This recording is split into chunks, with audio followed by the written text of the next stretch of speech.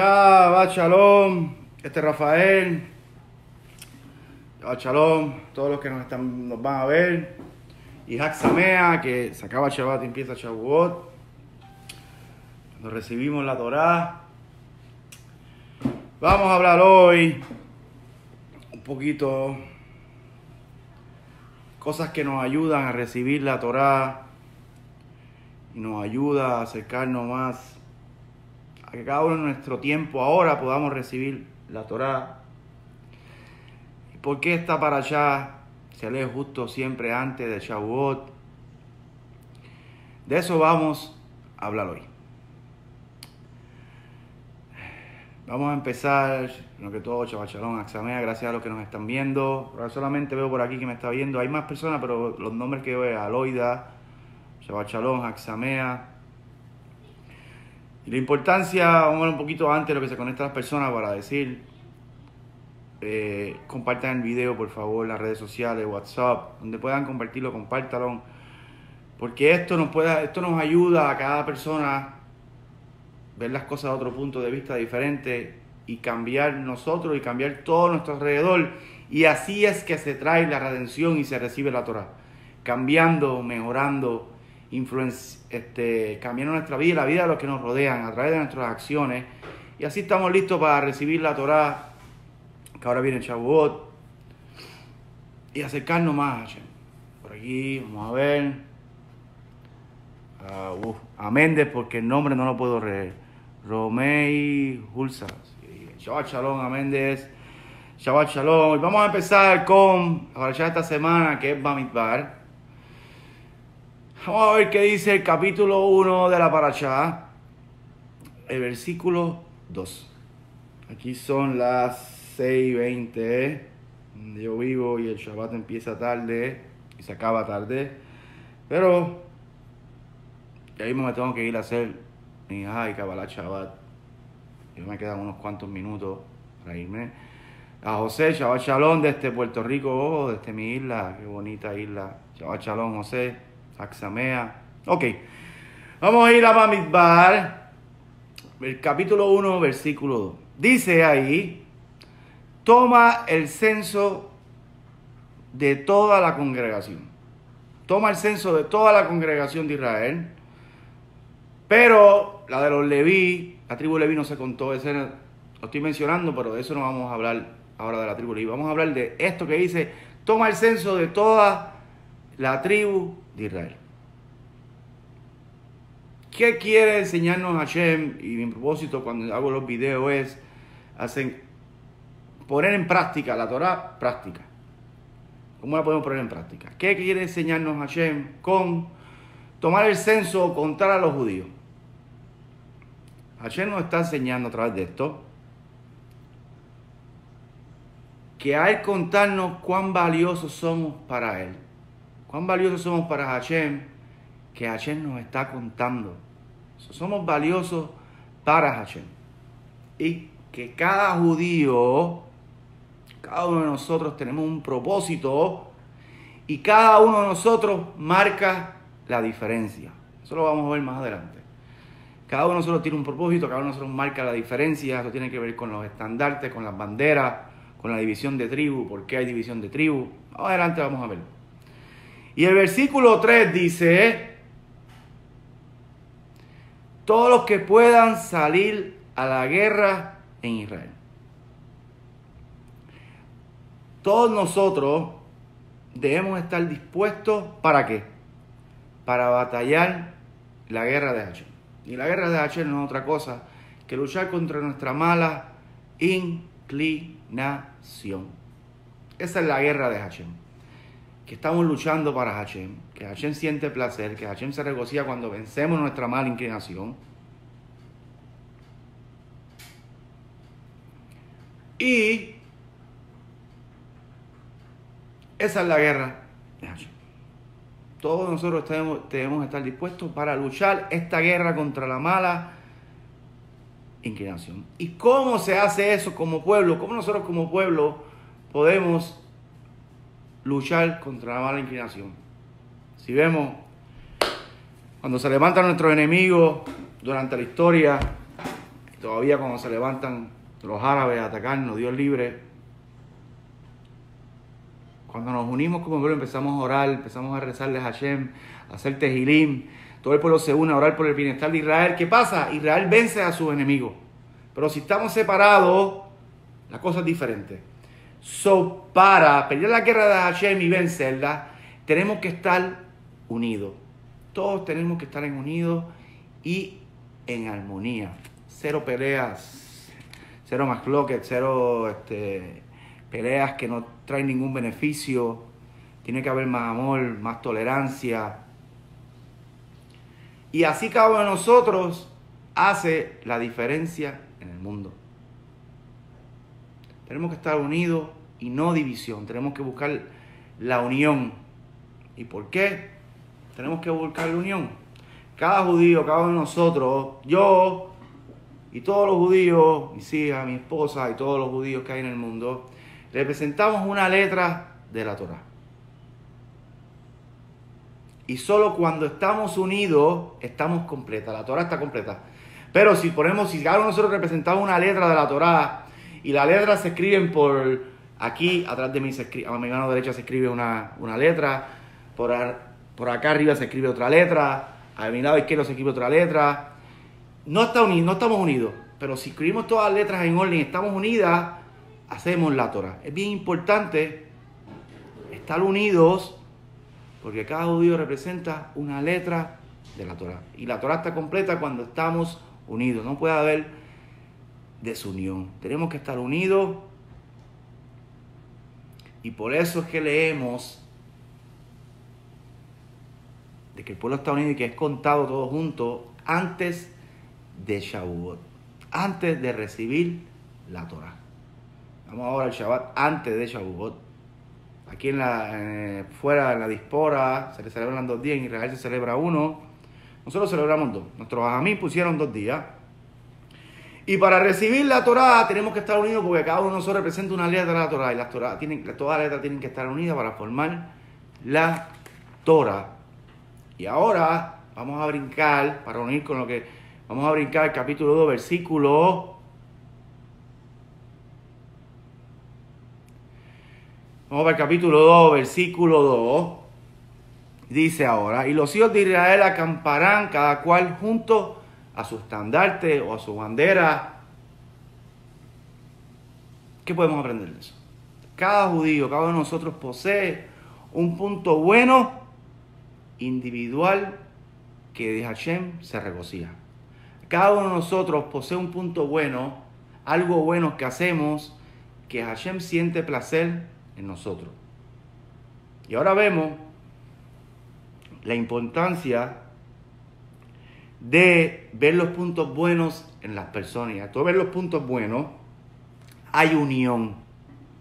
Y cada uno de nosotros representa una letra de la Torah. si vemos los puntos buenos de cada persona, ¿qué pasa? Hay unión. Pero si nos enfocamos todo el tiempo en lo malo, no resuelves nada. No Enfocándonos en lo malo de la persona, no hay arreglo, no resuelven nada. Hay que quedarse callado, ayudarlo, no hablar de lo que hace mal el otro.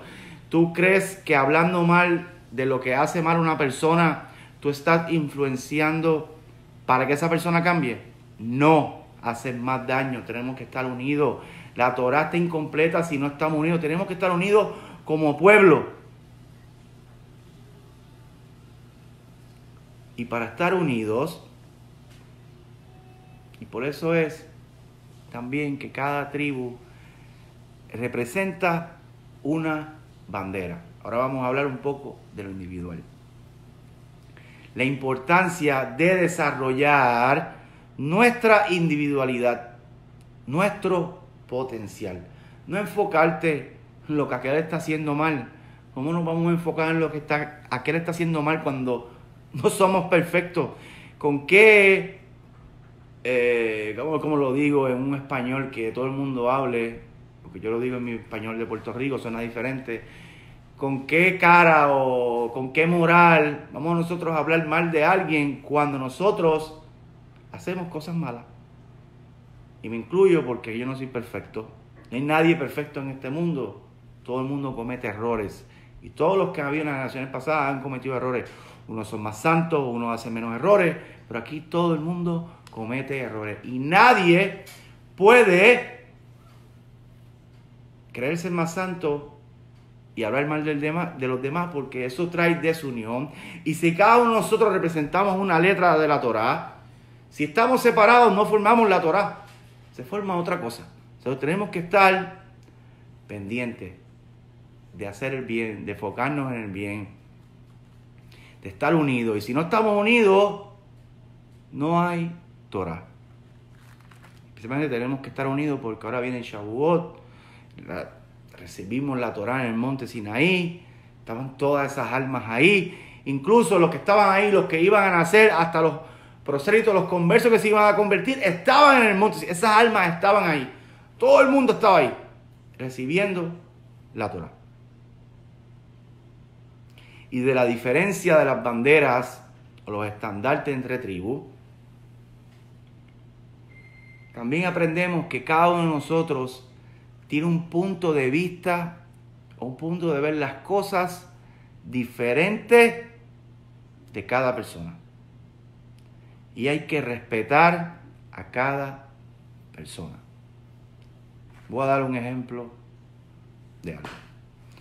Háganme saludar antes de dar el ejemplo. Por aquí nos está viendo Ángel de Puerto Rico. Oh, Chalón Ángel que siempre nos ve. A Gabriela Chalón. Eh, bueno, ya dice buenas noches. Buenas noches, me imagino, para donde tú vives. No sé dónde vives, pero buenas noches para ti. Por acá todavía es de día. Buenas tardes.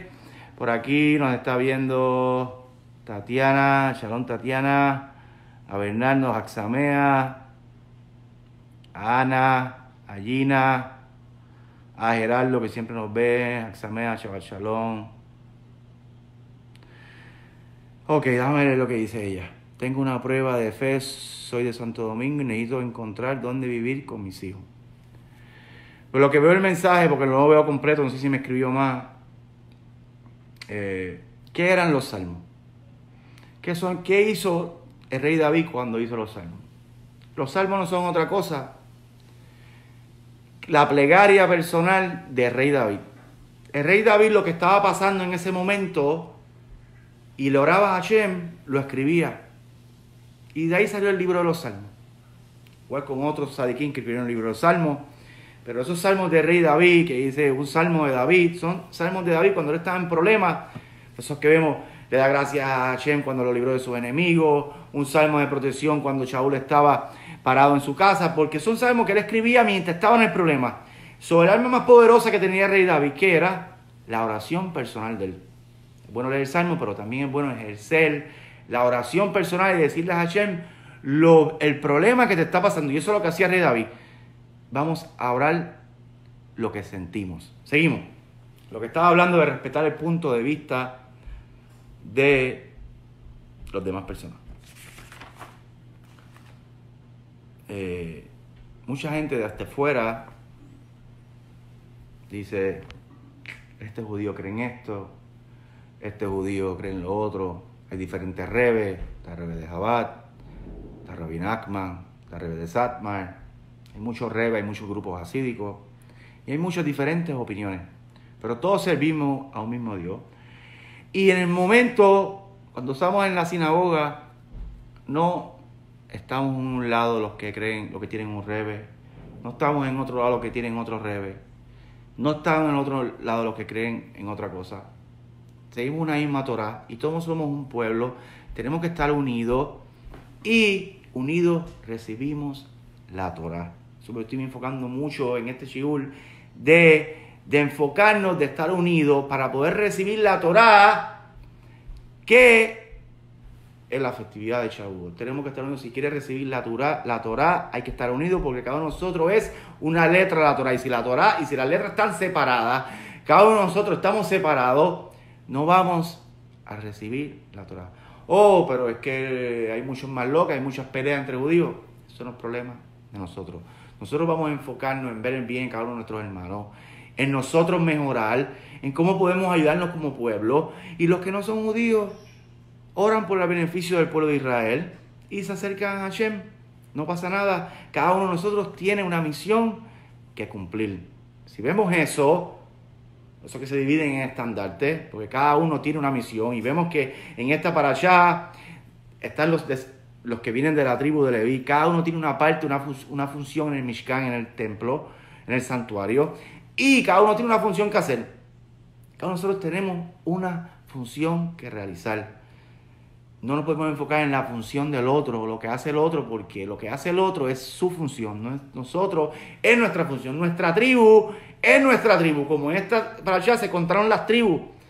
Si es de Joseph, es de Yehudá, de Benjamín, es de Dan, de la tribu que sea, cada uno de ellos tiene su función. Cada uno tiene una parte en un lado en cual pararse al lado del Mishkan. Este, norte, sur. Cada uno tiene una parte. Cada uno tiene una parte que realizar. Enfocándonos en los demás. Es como un ejemplo, estamos en el desierto, estamos, Hashem nos dice, marchen que vamos a ver el Mishkan y nos manda a los levitas a recoger todo. Aarón llega, como dice la Torá, ponen las cosas en su, en su, en su, no sé cómo decirlo en español, en su, en su este, protección, donde la cubierta que tienen que usar. Y a mí me dieron una función, yo no soy Leví ni soy Cohen, pues yo soy una de las tribus de Israel. Pues yo soy de una de las tribus de Israel y yo digo, no, pero es que yo quiero ser uno de los trabajos de los Levín, de los levitas. No, no me toca. Yo no soy Leví, ni soy Kohanim, yo soy Israel. Esa es mi función. Y cada uno de nosotros tiene una función que realizar. Esa es nuestro trabajo, nuestra función. Y estar unidos. Y así cambiamos todo. Y podemos traer la redención. Y sacamos las peleas, sacaban eh, los problemas. Y unimos la Torah, unimos todas las letras de la Torah. Y recibimos la Torah en este Shavuot. Que ayer nos bendiga y podamos recibir la Torah, podamos entender la Torah y pensar en la Torah todo el tiempo. Por último, voy al capítulo 4, especialmente el versículo 18, 19 y número 20. Por aquí vamos a ver qué más nos ha escrito. Ah, de esta oh, Argentina, Chaval Chalón, Gabriela de esta Argentina. Shalom, desde, nos está viendo desde Pensilvania, Onyx, a Josephine, Shalom, Shabbat Shalom, Magnelia, Shabbat Shalom,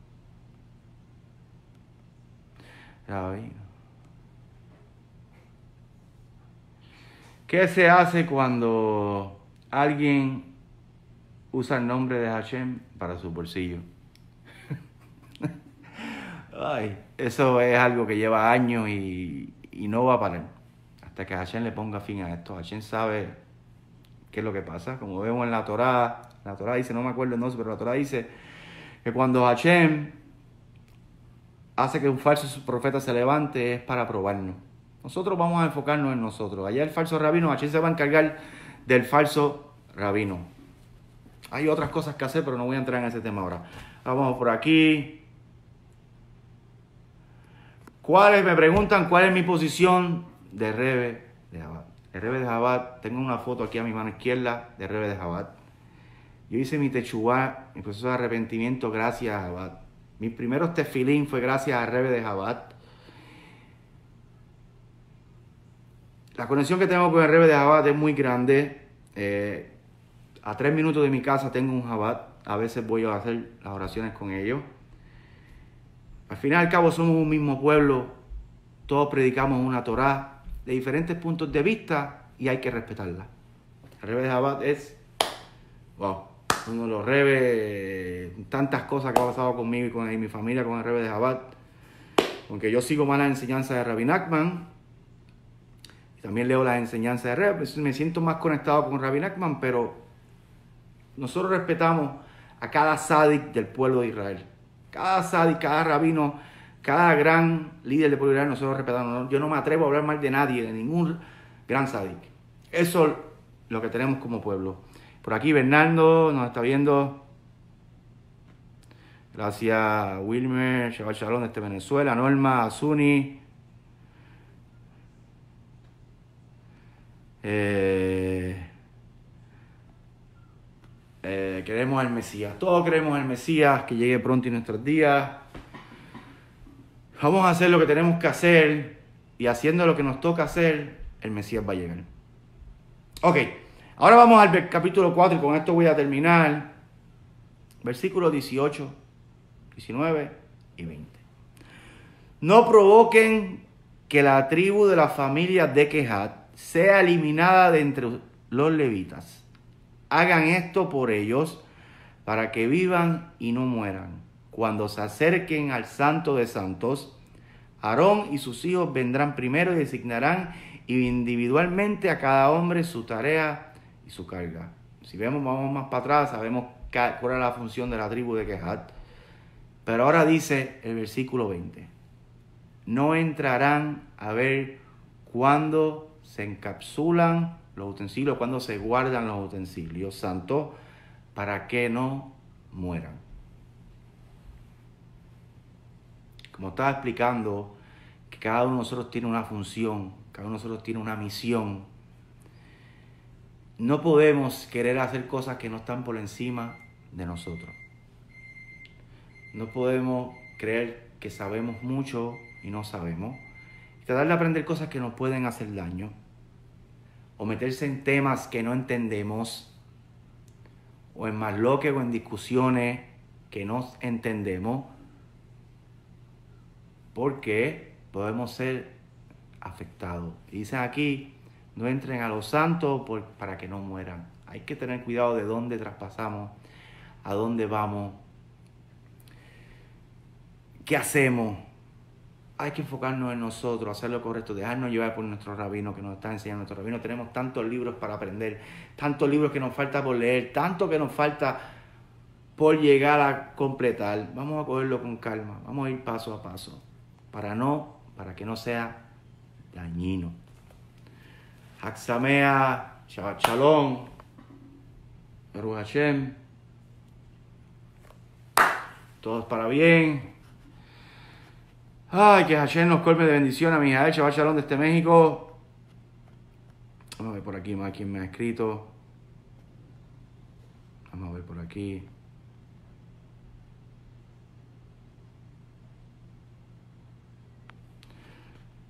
Eh, ok. Vamos a ver que estoy leyendo, deben un momento.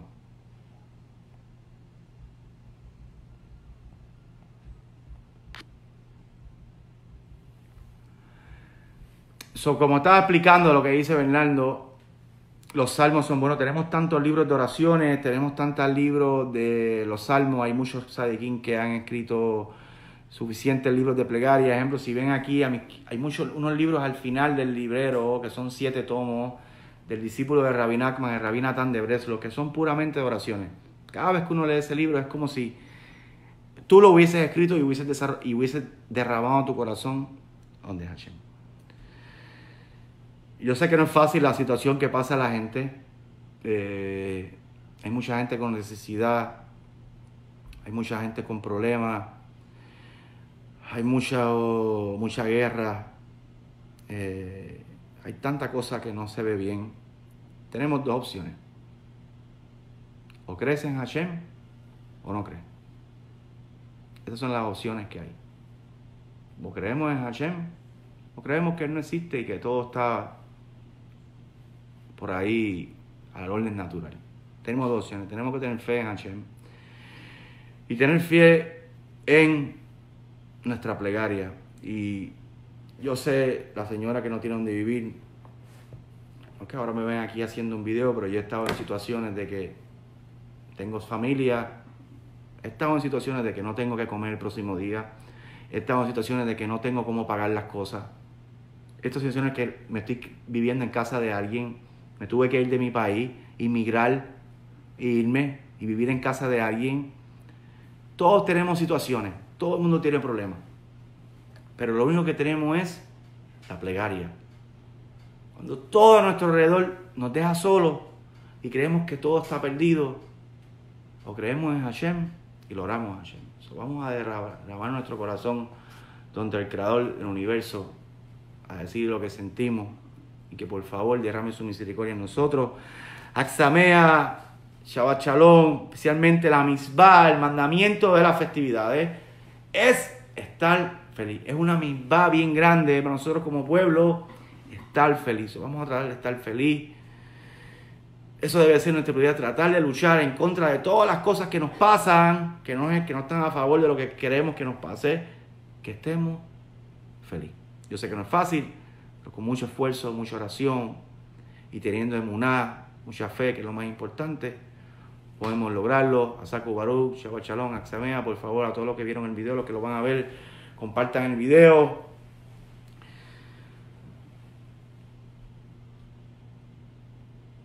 So, Shabbat Shalom, Axamea y todo lo bueno.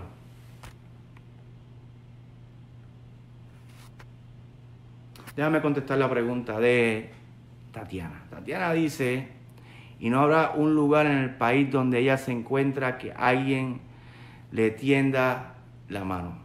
Ok, si la persona no me equivoco es de Santo Domingo, de República Dominicana.